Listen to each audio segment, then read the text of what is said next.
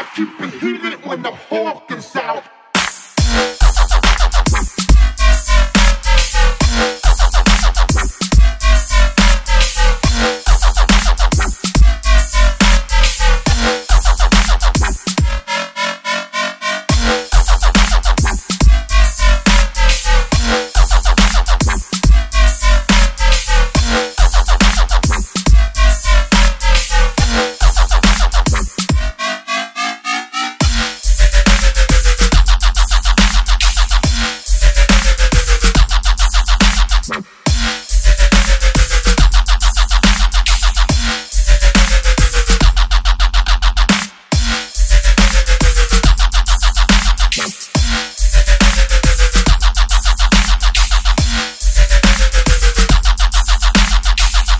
I keep